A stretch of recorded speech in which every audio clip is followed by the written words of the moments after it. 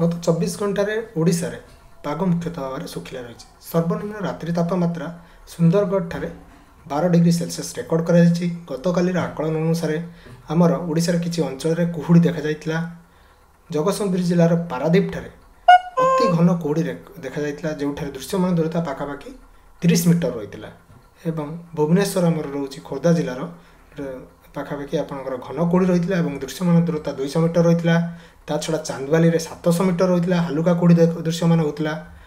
ଫୁଲବାଣୀ ନୟାଗଡ଼ କୋରାପୁଟ ଏବଂ ମାଲକାନଗିରିରେ ଆପଣଙ୍କର ହାଲୁକା କୁହୁଡ଼ି ରହିଥିଲା ଯେଉଁଠି ଦୃଶ୍ୟମାନ ଦୂରତା ପାଖାପାଖି ପାଞ୍ଚଶହ ମିଟର ରହିଥିଲା। ଗତ ଚବିଶ ଘଣ୍ଟାର ଯେଉଁ ରହିଥିଲା ଆମର କୌଣସି ସିଗ୍ନିଫିକାଣ୍ଟ ସିଷ୍ଟମ୍ ନାହିଁ ଓଡ଼ିଶା ଉପରେ ବର୍ତ୍ତମାନ। ତେଣୁ ଆଗାମୀ ତିନି ଦିନ ପର୍ଯ୍ୟନ୍ତ ପାଗ ଶୁଖିଲା ରହିବ। କିନ୍ତୁ ଚତୁର୍ଥ ଦିନରେ ଆମର ୱେଷ୍ଟ ପଶ୍ଚିମ ଦିଗରୁ ଯେଉଁ ୱେଷ୍ଟର୍ଣ୍ଣ ଡିଷ୍ଟର୍ବାନ୍ସ ଆସୁଛି ତା ପ୍ରଭାବରେ ଉତ୍ତର ଆଭ୍ୟନ୍ତରୀଣ ଜିଲ୍ଲା ଗୁଡ଼ିକରେ ଗୋଟେରୁ ଦୁଇଟି ସ୍ଥାନରେ ହାଲୁକା ବର୍ଷା ହେବାର ସମ୍ଭାବନା ରହୁଛି।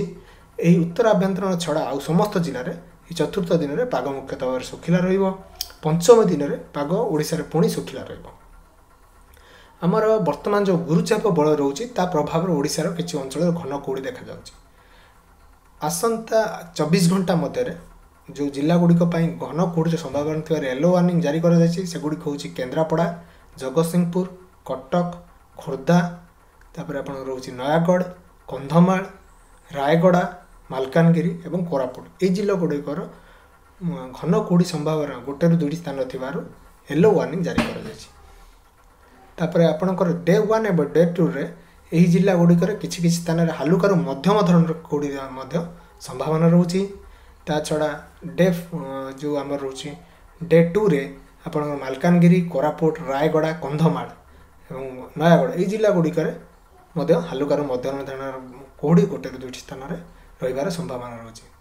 ରାତ୍ରି ତାପମାତ୍ରା ବା ସର୍ବନିମ୍ନ ତାପମାତ୍ରାରେ ଆଗାମୀ ଦୁଇ ଦିନରେ କୌଣସି ପରିବର୍ତ୍ତନର ସୂଚନା ନାହିଁ।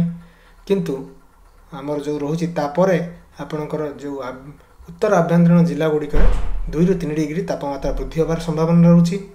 ଏବଂ ଅନ୍ୟ ଜିଲ୍ଲା ଗୁଡ଼ିକରେ ସେମିତି କୌଣସି ପରିବର୍ତ୍ତନର ସୂଚନା ନାହିଁ। ବର୍ତ୍ତମାନ ଟ୍ୱିନ୍ ସିଟି ଯେଉଁ ରହୁଛି ଆପଣଙ୍କର ଆଜି ଯେଉଁ ରାତ୍ରି ତାପମାତ୍ରା ରେକର୍ଡ଼ କରାଯାଇଥିଲା ଭୁବନେଶ୍ୱରରେ ସତର ଦଶମିକ ପାଞ୍ଚ ଏବଂ କଟକରେ ଷୋହଳ ଦଶମିକ ଛଅ ଡିଗ୍ରୀ ତାପମାତ୍ରା ରେକର୍ଡ଼ କରାଯାଇଥିଲା।